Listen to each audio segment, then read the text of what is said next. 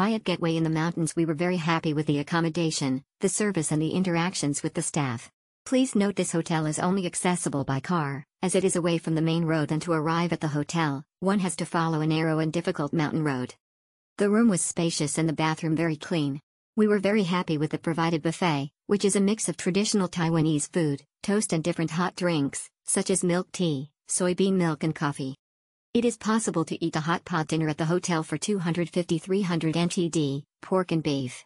I highly recommend letting the staff know you want to eat the hot pot at night, as it is very tasty and the portion is big. As this hotel is very traditional and high in the mountains, it can get quite cold inside the room. The hotel provides three blankets per person, so the cold will not be an issue when sleeping.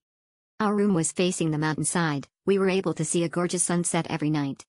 For the price, I can only praise the staff for providing us a comfortable place to stay.